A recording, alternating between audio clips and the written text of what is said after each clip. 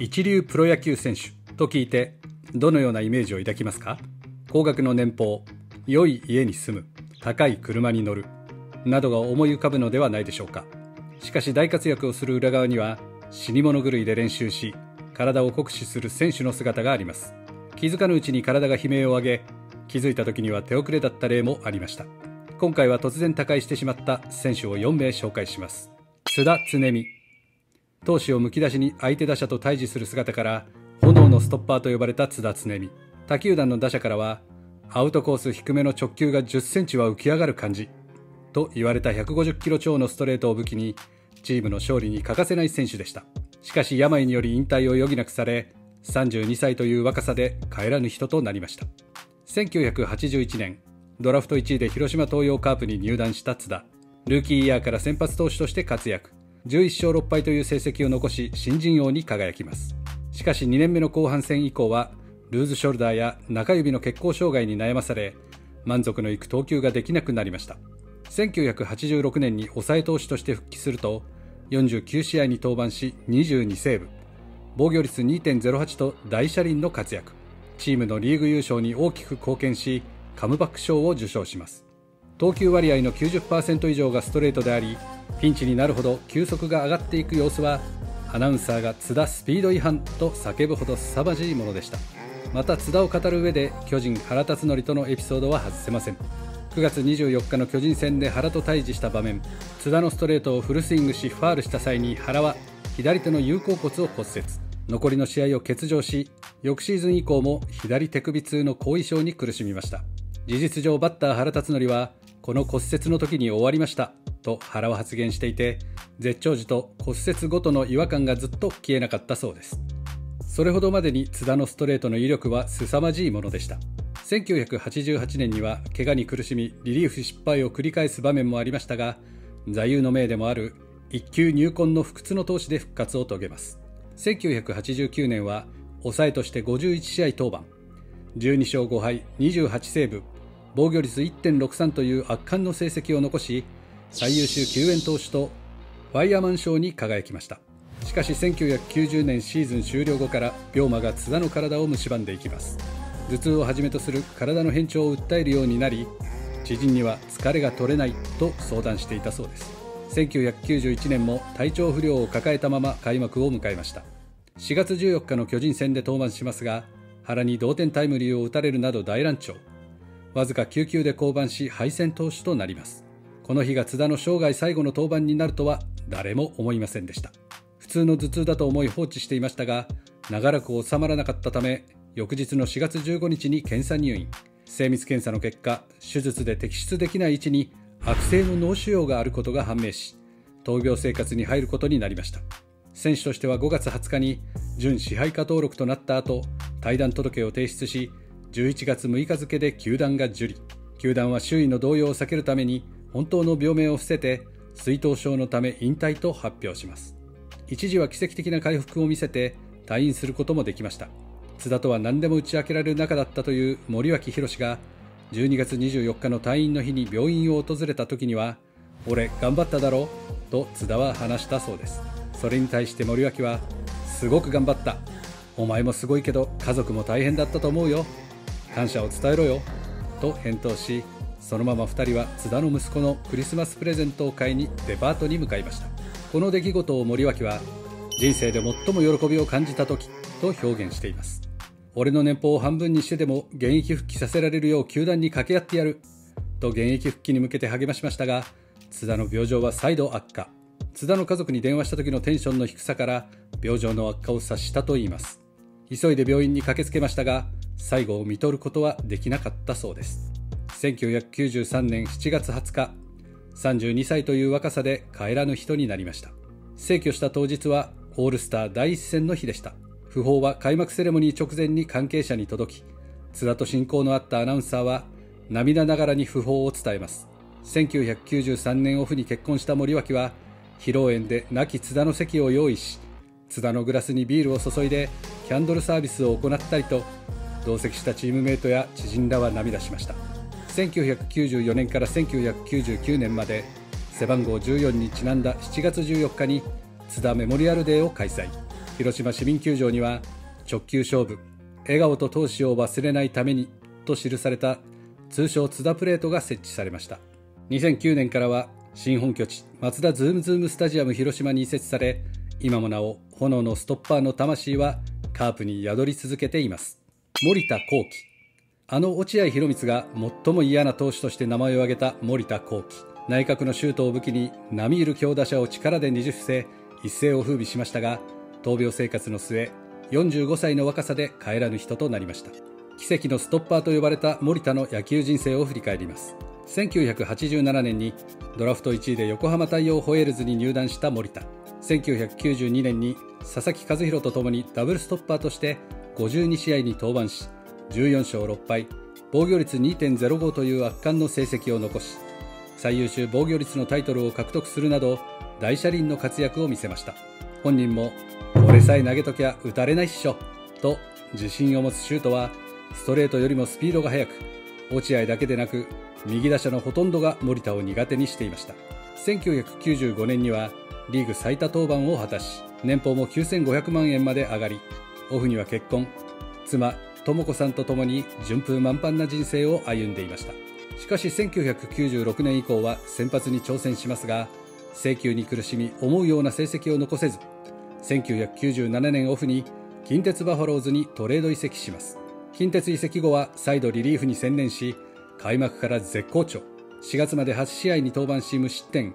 防御率0.00を記録。セ・リーグの強打者を震え上がらせたあの森田が帰ってきたとファンは喜びました。しかしある日自宅にいた智子さんは突然大きな揺れを感じたといいます。それは森田の右足のひどい痙攣による揺れでした。数ヶ月前から何度も痙攣が起きていてマウンド上でも右足首の違和感や麻痺などを感じていたといいます。移籍したばかりのため活躍した一心で誰にも言わず隠し続けていたようです。智子さんの助言もあり病院で検査を受けると思いもしなかった事実が判明。直径6センチほどの脳腫瘍が見つかったのです。これが手足の動きを司る運動野を圧迫し右半身に異常を引き起こしていました。9月に摘出手術を受けることになり医師からはスポーツ脳に腫瘍があり普通の生活に戻れても野球選手としては諦めなければならないかもしれないと通告されました。12時間に及ぶ大手術は成功しましたが本当の試練はここからでした。手術の影響で脳が腫れるため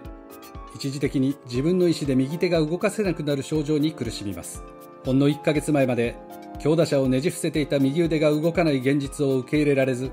自暴自棄に陥り手術は失敗だと思い込みました。動かないんだったらこんな右手いらねえよ。ちょん切ってくれよ。心はすさんでいきお見舞いに来てくれた知人ともまともに会話ができず智子さんがお詫びを繰り返したそうです。智子さんの献身的な支えもあり1週間後には右手で食事ができるようになりました。前向きな気持ちを徐々に取り戻しリハビリを開始した森田の回復はとても早く。なんと手術から7ヶ月後にはチームに合流。復活に向けてプロ野球選手としての体作りを再開しました。そして大手術からわずか1年。1999年10月7日に1軍復帰。藤井寺球場の1軍公式戦ラストゲームと偶然重なり超満員のスタンドからは割れんばかりの大きな森田コールが起こりました。先頭打者を三振に打ち取り全10球を投じたところで交代。奇跡の復活を果たした森田への拍手は止むことなく夫婦に笑顔が戻りました。右足首には特製のギプスをつけ自分の意思の数パーセントしか動かせない状態でありながら2001年6月13日には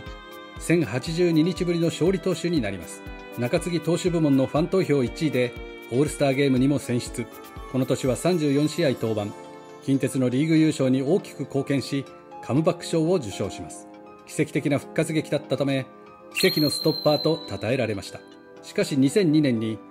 優勝もできたしオールスターに出ることもできたので自分のやれることは終わった。という理由から現役引退を発表。引退後は横浜ベイスターズの球団職員を務めながら野球解説者として活躍しました。しかし神様はまたも森田に試練を与えます。2005年に脳腫瘍が再発しその後10年にわたり転移が進んで手術を繰り返しました。2014年には余命1年と告げられます。妻と最後の時間を過ごしたいと自宅へ戻りお前は一人でも生きていけるから一人で頑張れと言葉をかけたそうです。智子さんも安心させたいという気持ちから私はたくましいからどこでも一人で生きていける。だから心配しないで大丈夫だよと返答したといいます。脳腫瘍を患ってから17年後の2015年10月16日森田は45歳の若さで静かに眠りにつきました。ありがとうね。幸せだったよ。これが智子さんから奇跡のストッパーにかけられた最後の言葉だったそうです。森進二189センチの大きな体。左足を高く上げるダイナミックなフォームから繰り出す150キロ超のストレートと切れ味鋭いフォークボールを武器に活躍した森進二 MLB にまで挑戦した選手ですが42歳の若さで帰らぬ人となってしまいます。1996年ドラフト2位で西武ライオンズに入団した森。1年目から中継ぎ抑えとして活躍しチームの優勝に貢献。毎年コンスタントに30試合前後登板できるタフネス右腕として重宝されます。特に2002年2003年の投球は圧巻でした。セットアッパーとしてフル回転し2年連続で最優秀中継ぎ投手を獲得。森からクローザーの豊田清につなぐ勝利の方程式は他球団にとって7回までに勝っていないと厳しいと言われるほど脅威でした。奪三振率が非常に高くフォークボールは MLB でも通用すると言われ2005年オフにはポスティングシステムでタンパベイデビルレイズと2年契約。しかし初登板のオープン戦で3球目を投げた時に右肩を抱えたままうずくまりそのまま交代。右肩脱臼と診断され全治1年を要する重傷を負ってしまいます。2007年は出場機会がないままデビルレイズから契約解除を告げられリハビリをしながら MLB 挑戦を目指しますが断念しました。2009年からは BC リーグ石川ミリオンスターズの選手兼任投手コーチに就任。当初はコーチのみの予定でしたが右肩の調子が良くなったため選手兼任になりました。公式戦での登板はなく2010年に選手を引退し監督に就任します。リーグチャンピオンに導くなど指導者としての経験値を高め2015年からは古巣西武の2軍投手コーチに就任。2016年には1軍投手コーチになり順調にステップアップしていきましたが2017年に突然その時がやってきます。通常通りチームに帯同していましたが顔色が悪かった森に対して球団関係者が体調が悪いなら病院に行った方がいいと進言し6月25日に検査入院。渡辺久信シニアディレクターはまだ病状は不明であり復帰の見通しはわからないとコメントしました。あくまで検査入院であり少し休めばまた戻ってくると誰もが思っていましたが6月28日多臓器不全のため42歳の若さで帰らぬ人となりました。毒性の強い溶連菌の感染による敗血症が原因だったようです。試合前に訃報を伝えられた辻初彦監督は数日前まで一緒にやっていた優勝を目指してやってきた仲間ショックですね。辛いです。と目を真っ赤にして涙を拭いました。6月30日のオリックス戦では喪章をつけて試合が行われ追悼セレモニーもされ両軍選手らと観客が黙祷を捧げました。現役時代は毎晩飲み歩くような豪快な生活をしていた一方でどんな人とも分け隔てなく付き合う面倒見の良さに定評のあった森。コーチ就任後は白髪も増えて苦労しているなと感じる場面も多かったそうです。現役時代の豪快な生活とコーチ時代の繊細さから来るストレスで知らず知らずのうちに体に負担をかけていたのかもしれません。親族は森の息子たちに本当に人はいつこうなるかわからない。だから毎日を丁寧に生きていきなさいと語りかけたそうです。誰からも愛された森の突然の出来事に言葉を失いました。伊良部秀樹。NPB 史上最速の投手は誰かという議論には必ず名前が挙がる伊良部秀樹。大谷翔平が日本ハム時代に165キロを計測した時に投手コーチを務めていた黒木智弘が体感速度は翔平より速い。と語るほどの剛速球で平成のパ・リーグを彩った名投手です。しかしイラブは42歳の若さで自ら命を絶ってしまいました。1987年ドラフト1位でロッテオリオンズに入団したイラブ。1993年に清原和博と対峙し158キロという当時の日本最速を記録。以降清原との勝負は平成の名勝負と呼ばれました。1994年から1996年まで3年連続2桁勝利を記録し小宮山悟らとともにロッテのエースとしてチームを支えます。しかし球数に対する考え方の違いなど球団との確執が浮き彫りになりました。当時の広岡達郎 GM が新聞を通じて痛烈に批判したこともありフロントとの溝が深まる一方だったイラブは1996年オフに MLB 挑戦を表明します。ロッテは業務提携をしていたサンディエゴ・パドレスにイラブの権利を譲渡するつもりでしたがイラブが希望した移籍先はニューヨークヤンキースのみだったため交渉は難航。長い交渉の末ロッテ、パドレス、ヤンキースの三角トレードのような形で決着。ヤンキースに固執した理由は幼少期に別れたまま行方が分からなくなった父親を探すためでありヤンキースで活躍すれば自分に会いに来てくれるかもしれないという思いがあったからとされています。当然ながら三角トレードには批判が集まりイラブはわがままと騒がれます。しかしイラブが先駆者となり現在のポスティングシステムが作られて多くの選手が FA 権取得前に MLB に挑戦することができるようになりました。NPB と MLB を交えた大騒動があったため一目見ようとメジャー初登板の試合には大勢のファンが球場に詰めかけます。その試合で日本人初の初登板初勝利を達成し厳しいと言われるヤンキースファンも最初は歓迎ムードでした。しかし以降は制裁を欠く登板が続きました。ノックアウトされて降板するときにブーイング中のファンに唾を吐きかけるような行動をしてしまいメディアからバッシングされて MLB でもお騒がせぶりは健在でした。しかしご存知の通り実力は本物で1998年1999年と2桁勝利を挙げます。2002年はテキサスレンジャースに所属し球団史上に残るクローザーとも言われましたが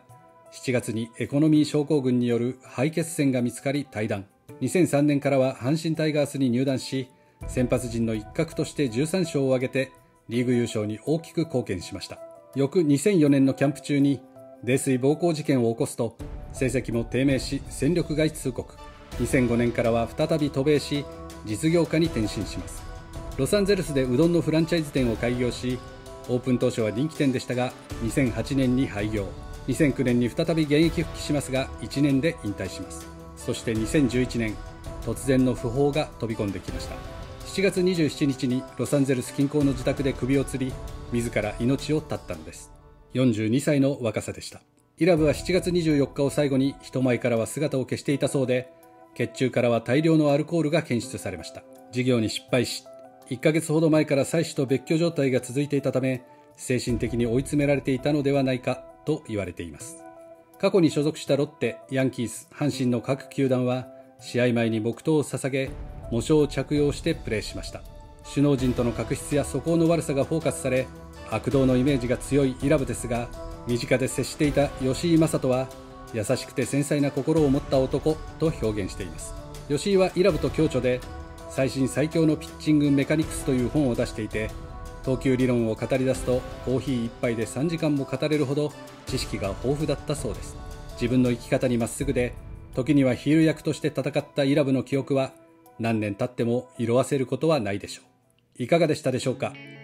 ？4名の訃報が報じられた時ファンは事態を飲み込むことができませんでした。いつまでも彼らの勇姿を忘れることはありません。紹介した4名の思い出などがあればぜひコメント欄で教えてください。私は森田投手の復帰戦を藤井寺球場のライトスタンドから見守っていたことが思い出です。ブルペンで投球を始めた時のどよめきと登板時の大歓声は小学生だった私の脳裏にしっかりと刻まれています。本日もご視聴いただきありがとうございました。